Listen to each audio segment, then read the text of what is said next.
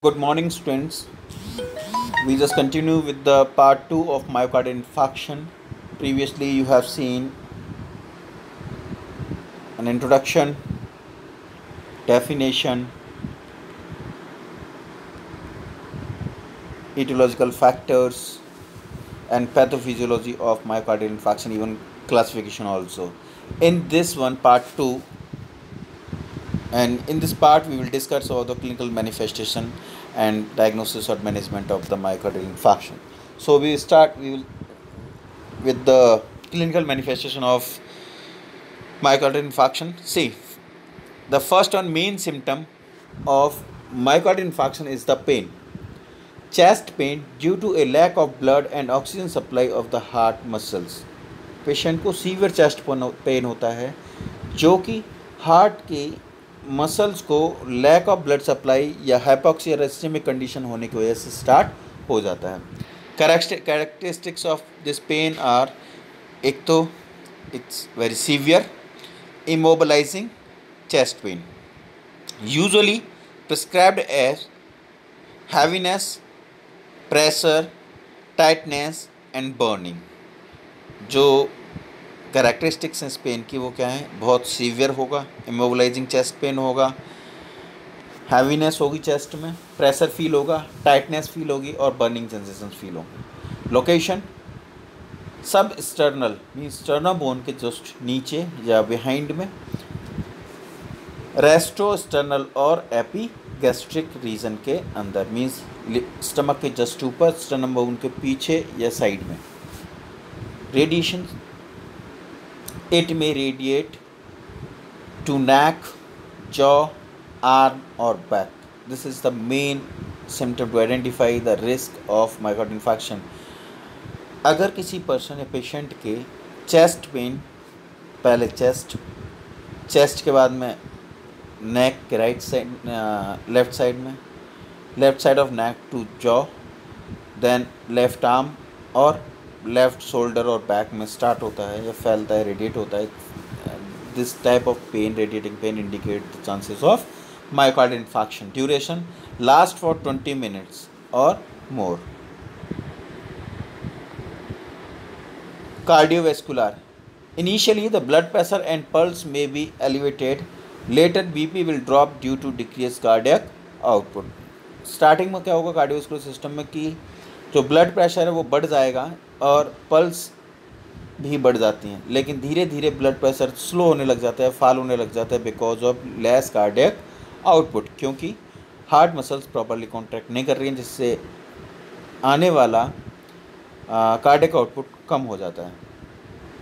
Palpitation patient को palpitation feel होगा means एक you can say tingling sensation या पाल्पिटिव सेटिव सेंसेशंस फील होते हैं आर्टरीज के अंदर ऑटोमेटिकली जुगुलार वेन में become distended and have obvious pulsation जो जुगुलार वेन है नेक के साइड में, वो डिस्टेंड हो जाती है, फैल जाती है due to previous overload in the respiratory system the symptoms are respiratory symptom occur when the damage the heart muscle limit the pumping action of the left ventricle causing acute left heart failure and consequent lung congestion होता क्या है? जब ventricle proper amount में blood को aorta में एग्जैक्लूट नहीं कर पा रहा है तो वेंट्रिकल फिल हो जाते हैं ब्लड से। जब वेंट्रिकल फिल होंगे तो वो एट्रियल एट्रियम से ब्लड को नहीं लेंगे। जब एट्रियम से ब्लड को नहीं लेंगे तो प्रीवियस जो ब्लड है वो एट्रियम्स के ऊपर, यानी कि you can say pulmonary veins के अंदर कोरनरी आर्टरी में बढ़ता चला जाएगा। और इसकी वजह से अब ये ब्लड लंग्स में फेल हो जाता है। मींस लंग्स के अंदर ब्लड का प्रोसेस ब्लड का एक्यूमुलेशन लग जाता है पल्मोनरी वेंस पल्मोनरी आर्टरीज के अंदर, जिसकी वजह से वहाँ पर कंजेशन होता है। और कंजेशन से ब्लड में से वाटर फ़िल्टर होकर के एल्वलाई के अंदर शिफ्ट हो जाता है, जिससे कि शॉर्टनेस ऑफ़ ब्रीथ होने स्टार्ट हो जाती है। डिजनिया होता है डिफ़िकल्टी इन ब्रीथिंग टैकीपीनिया पल रेस्पिरेटरी रेट का बढ़ जाना शॉर्टनेस ऑफ़ ब्रीथ होगी तो रेस्पिरेटरी रेट बढ़ेगी क्रैकल साउंड्स आने स्टार्ट हो जाते हैं और pulmonary oedema also has to be seen gastrointestinal system में नोज़िया होगा पेशेंट को वॉमिटिंग सेंसेशंस होंगे और वॉमिटिंग भी हो सकती है. Stimulation of vomiting centre by severe pain cause nausea and vomiting vomiting और नोजिया क्यों आ रहा है? क्योंकि जब पेशेंट को सीवियर पेन होगा तो ये सीवियर पेन जो नोजिया एंड वॉमिटिंग सेंटर है, उसे स्टिमुलेट कर देता है। जिसकी वजह से सॉरी गाइस जिसकी वजह से जो वॉमिटिंग सेंटर है स्टिमुलेट हो जाते हैं और पेशेंट को नोजिया और वॉमिटिंग फील होता है। Next one is fever it is due to inflammatory process caused by myocardial cell death. In the integumentary system or skin, you can say, skin cool hogi clammy skin diaphoresis होगी अच्छे से sweating होगी parallel colour हो जाएगा cyanosis होना start हो जाएगी coolness of extremities means हाथ और पैर ठंडे पड़ जाते हैं। In response to pain and the blood flow abnormalities that result from dysfunction of the heart muscles that's why it leads to sim, uh, sympathetic nervous system stimulation. It leads to increased acetylcholamine release. Sorry it increases catecholamine release adrenal from the adrenal medulla. It leads to diaphoresis perfused sweating excessive sweating cold that's why cold and clammy skin means cold sweat you can say in the genitourinary system, myocardial damage जैसे ही start होता है it leads to failure of the pump action of heart resulting in reduced cardiac output. That's why hyperperfusion to the kidney leads to decreased renal perfusion pressure which is required to maintain glomerular filtration rate or GFR in the kidney. Decreased GFR leads the decreased GFR leads to decreased urinary output means urine output कम होगा, इसे, इस condition को हम oleic urea कहते हैं means patient का urine output है थर्टी एम पर आर और four hundred M per R से पर डे से कम हो जाता है। न्यूरोलॉजिक चेंजेस न्यूरोलॉजिकल सिम्टम्स क्या क्या आएँगे? Due to inadequate blood flow to the brain light headedness हल्का हल्का सर दर्द रहेगा हेडेक होगा विजुअल विजुअल डिस्टर्बेंसेस रहेंगे अल्टर्ड स्पीच होगी अल्टर्ड मोटर फ़ंक्शंस होंगे altered level of consciousness psychological changes या साइकोलॉजिकल सिम्टम्स क्या क्या होंगे? पेशेंट को फियर फीलिंग होगा, डर रहेगा about the disease because patient have lack of knowledge regarding the disease condition patient में deny that anything is wrong next one see the diagnostic evaluation or diagnostic test for the myocardial infarction first one is assessment diagnostic findings it is generally based on presenting symptom ecg and laboratory test results first one we will collect the patient history it includes everything about the patient description of presenting symptoms patient क्या क्या symptoms show कर रहा है उन present symptoms को describe करेंगे describe करेंगे history of previous illness family health history means patient की फैमिली हिस्ट्री कलेक्ट करेंगे क्या फैमिली में पहले किसी को इस तरह की बीमारी थी तो हो सकता है मे बी हेरिटेड हो, या फिर कहीं अभी किसी को फैमिली में एक तरह कंडीशन डेवलप हुई है या नहीं हुई। Next one is the E C G electrocardiogram electrocardiogram is a graphical recording of electrical activities of the heart on a graph paper and a machine which perform this electrocardiography uh, procedure is called electrocardiography machine and this procedure is called electrocardiography. ECG yani electrocardiography provides information that assists in diagnosis acute myocardial infarction. ECG provides information that assists in diagnostic uh, diagnosing acute myocardial infarction.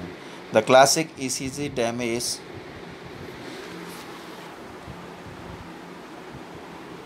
sorry the classic E C G changes are E C G graph में आपको क्या क्या changes मिलेंगे? First one S T segment elevation जो S T segment है, वो elevated होगा, या एस टी सेगमेंट डिप्रेशन भी हो सकता है टी वेव इन्वर्जन भी हो सकता है, और एबनॉर्मल क्यूब वेव भी हो सकता है. Recognition of E C G tips एक सैली प्रोसेस होता है, इसमें क्या देखते हैं? अगर पेशेंट को सेप्टल माइकॉट इन्फ्रैक्शन हुआ है मीन सेप्टम की माइकॉटिम लेयर में इन्फ्रैक्शन है तो V1 और V2 लीड का ST सेगमेंट एलिवेटेड होगा। अगर anterior wall of M I means myocardial infarction heart के एंटीरियर वॉल के अंदर होता है तो V3 एंड V4 लीड के अंदर ST सेगमेंट एलिवेटेड होगा। अगर लेटरल वॉल के अंदर माइकॉट इन्फ्रैक्शन है तो V5 V6 to AVL. इसी से लीड्स का एस टी सेगमेंट एलिवेटेड होगा।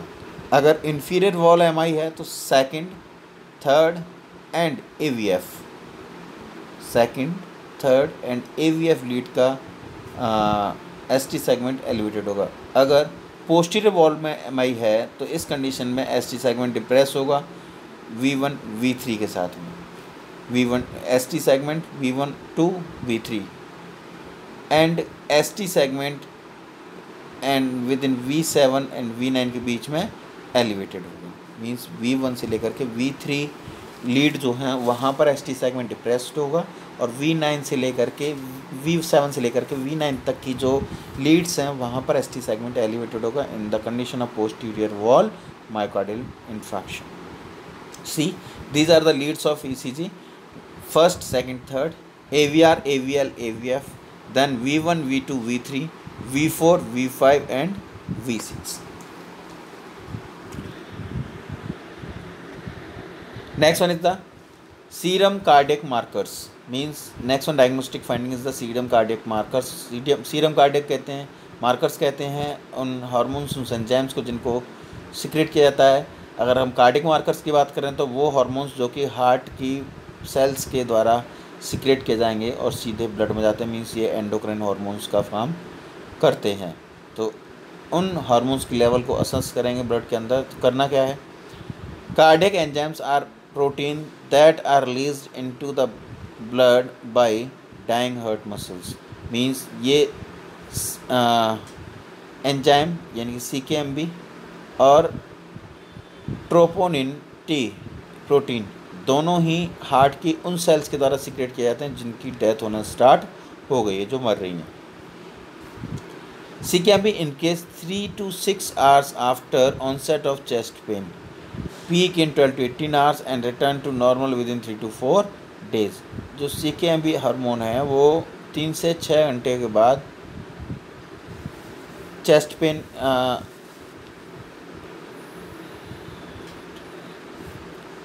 जो C K M B hormone enzyme है, उसका सिक्रेशन चेस्ट पेन के तीन से छः घंटे के बाद जाकर के सिक्रेशन स्टार्ट होता है। और इसका पीक लेवल आता है बारह से अठारह घंटे में। और इसको वापस से नॉर्मल लेवल पर लौटने के लिए कम से कम तीन से चार दिन का समय लगता है।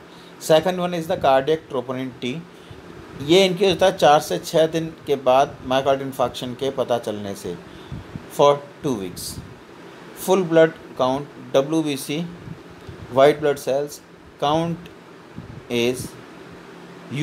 elevated erythrocyte segmentation sedimentation rate E S R and C R P C reactive protein may also elevated. Chest X-ray to detect cardiomegaly. Echocardiogram next one is हमने ईसीजी पढ़ा था, वो इलेक्ट्रोकार्डियोग्राम था, ये इकोकार्डियोग्राम है it's like as a sonographic examination of heart see the purpose. It is useful to assess the ability of heart muscles. So, contract and relax. It is done to evaluate ventricular functions by checking ejection rate, CT, and magnetic resonance imagery. Means CT scan or MRI purpose to detect site and extent of myocardial cells. Angiography. It's a diagnostic and it's a not only diagnostic process a procedure it's also a corrective procedure also. Angiography is used to detect abnormalities including narrowing stenosis or blockage in the coronary vessels called occlusion. This is done by injecting a sorry this is done by injecting a uh, radio opaque contrast agent into the blood vessels. This dye makes the coronary artery visible on X-ray pictures. This help doctor see blockage in the arteries. इस process में angiography में करते क्या एक diagnostic process है यहाँ पर coronary art sorry femoral artery से एक्सटेंड गन कहा जाता है, इसको डालते हैं, एक कैनोला टाइप होता है, इसे डालते हैं, जिसमें से कैथेटर डाला जाता है, जिसके ऊपर की वायर होता है, उसके ऊपर एक ट्यूब होती है कैथेटर होता है, उसे हार्ट तक छोड़ा जाता है। जैसे ही ट्यूब कैथेटर हार्ट तक पहुँचता है तो वहाँ जा कर के उसमें डाई इंसर्ट की जाती है। मींस हार्ट को एक रेडियो एक्टिव एजेंट सेंड किया जाता है। जैसे ही वो हार्ट के ब्लड वेसल्स के अंदर जाता है तो उसका हम एक्सरेज के थ्रू पिक्चर्स लेते हैं, जिसमें जहाँ जहाँ वो डाई पहुँचेगी, वहाँ पर मैं एक साइनी स्पॉट कलर होगा और जहाँ नहीं जाएगी ब्लॉकेज होगा, वहाँ पर डार्क कलर का स्पॉट दिखाई देगा। Management goals restoration of the balance between the oxygen supply and demand और prevent for the ischemia pain relief prevention and treatment of the complications may arise see chest pain suggestive of ischemia. Immediate assessment within 10 minutes and initial lab test wise vital sign. Check करेंगे twelve lead E लेंगे obtain initial cardiac enzymes रखें ready रखेंगे electrolytes ready रखेंगे CBC अपने पास रखेंगे lipid बर्न CT रखेंगे glucose coags history and physical establish diagnosis red sorry read ECG identify complications, assess for reperfusion. Emergent. Cardiac monitoring TV assess morphine. Oxygen 94% administration nitrates and aspirin.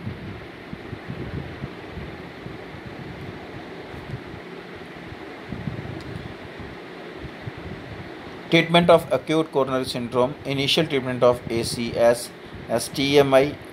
U A या non S T M I S T M में क्या करना है? Anti platelet anti स्टेमिक और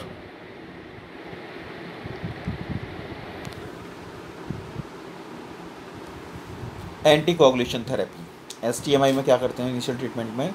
anti platelet drugs देंगे anti स्टेमिक drugs देंगे और anti coagulative drugs देंगे। जिसकी वजह से थ्रोम्बोलाइटिक प्रोसेस होगी मीन्स थ्रोम्बस का टूटना स्टार्ट हो जाएगा। पीसीआई और G A B S C A B S coronary artery plus blood gas analysis भी करेंगे, जो लॉन्ग टर्म मेडिकल मैनेजमेंट होते हैं। दूसरे में यू ए नॉन एस के अंदर एंटी प्लेटलेट ड्रग देंगे एंटी स्टेमिक ड्रग देंगे और एंटी एंटीकोलन थेरेपी देंगे। पीसीआई और C A B G means coronary artery blood gas analysis करवाएँगे। लॉन्ग टर्म में मेडिकल मैनेजमेंट को रेफर करेंगे। मेडिकल मैनेजमेंट में ड्रग थेरेपी जिसमें सबसे पहले आता है एंटी प्लेटलेट ड्रग्स क्योंकि जहाँ पर प्लग बन रहा है, जहाँ पर क्लॉट का फॉर्मेशन हुआ है, वहाँ से उस क्लॉट को रिमूव करने की सबसे रिमूव करने के लिए सबसे पहले हमें एंटी प्लेटलेट ड्रग देती हैं, जो कि कोगुलेशन ना होने दें जहाँ पर ब्लड क्लॉट बना हुआ उसको डिजोल्व करके आगे भेज दें। Decrease platelet aggregation and inhibit thrombus formation aspirin one sixty two three two five milligram slow the blood clotting action by reducing the pumping of the platelets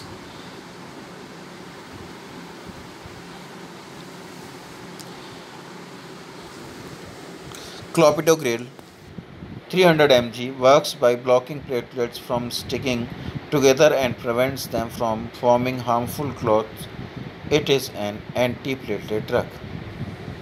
Analgesic drugs, nitrates, sublingual nitroglycerin. Nitrates act as a vasodilator and relieve pain. Total 3 dose doses. Can repeat 3 minutes.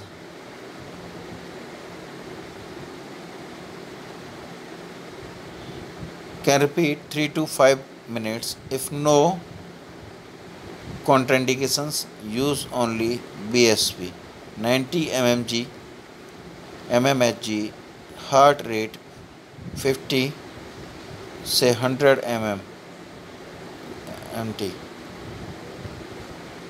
morphine sulfate produce central nervous system analgesia. Produce vasodilation it helps to reduce left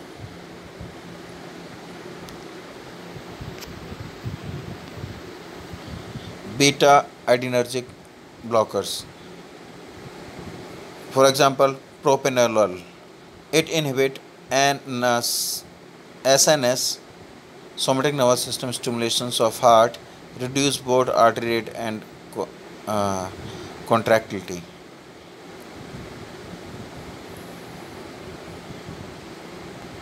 Calcium channel blockers, verapamil or nifedipine. It causes coronary artery vasodilation and decreases myocardial contractility, increase blood supply to myocardial and decrease O2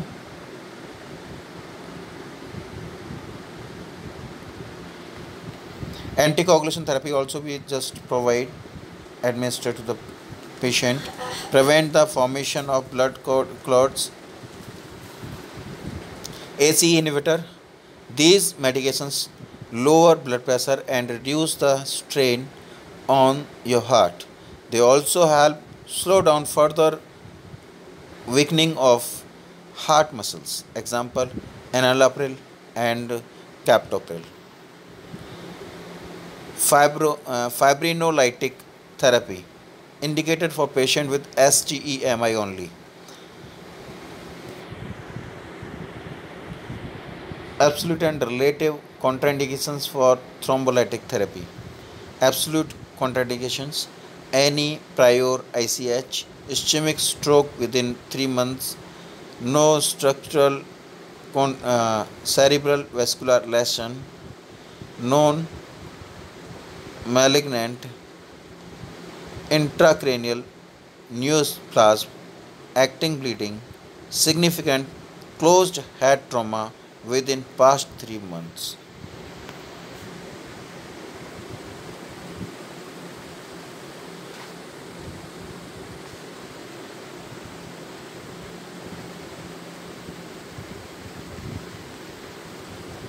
See the surgical management of myocardial infarction. First one is the angioplasty. Angioplasty is a simple procedure in which we just insert a stent in the coronary artery at the site where the thrombus formation was occur.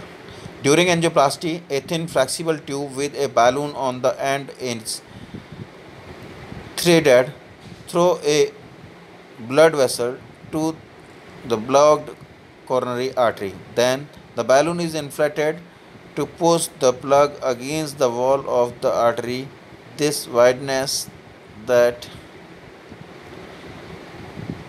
this widens the inside of the artery restoring blood flow also a small mesh tube called a PET stent may be put in the artery by help keep it open some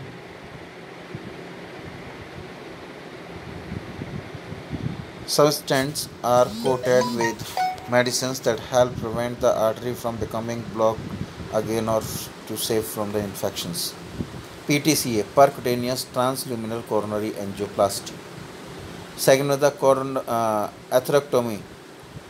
With atherectomy, the plug is shaved off using a type of rotational tube. Means जो atherectomy में जो atherosclerosis हुई या thrombus बना हुआ है उसको remove कर दिया जाता है coronary artery bypass graft C A B G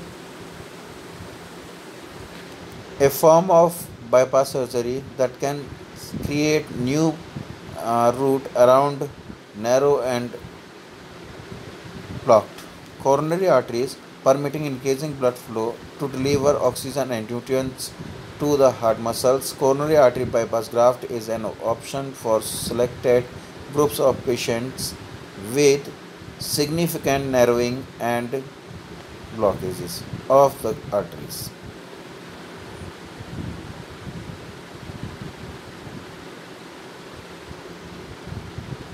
Next one is the complications of myocardial infarction. First one is the dysrhythmias means heart rate जो है वो एबसेंट होना स्टार्ट हो जाती है। पहले regular heart beat arrhythmia होगा dysrhythmia होगा means disturbances of heart rates cardiogenic shock patient को कार्डियोजेनिक शॉक हो सकता है मीन्स हार्ट की वजह से बॉडी टिश्यूज़ के अंदर हाइपोक्सिक कंडीशन डेवलप हो सकती हैं।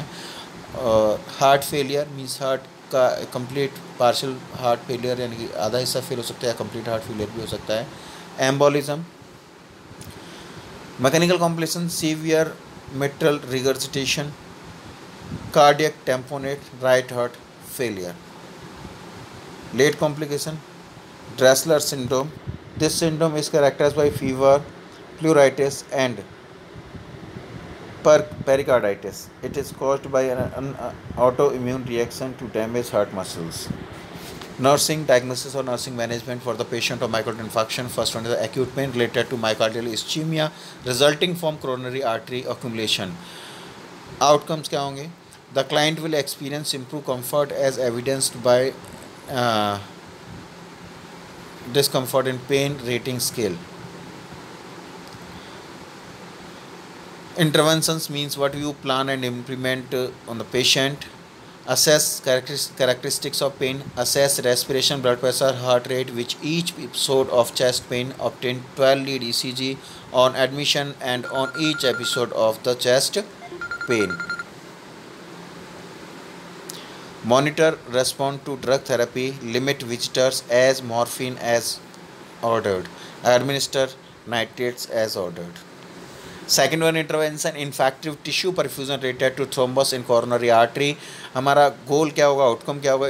The client will demonstrate improved cardiac tissue perfusion as evidenced by rating of pain intervention क्या होंगे? Provide bed rest administered oxygen and prescribed medication administered thrombolytic agents monitor S T segment in E C G next one is next one diagnosis dysrhythmias related to electrical inability instability और irritability secondary to infarcted tissue outcome क्या होना चाहिए हमारा?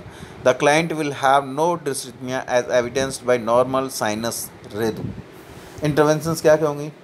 Teach client and family about need for continuous monitoring assess apical heart rate give anti anti dysrhythmic agents as ordered by the physician doctor or cardiologist monitor effects effects of anti dysrhythmic medications monitor serum k level maintain part 4 line uh, patient 4 line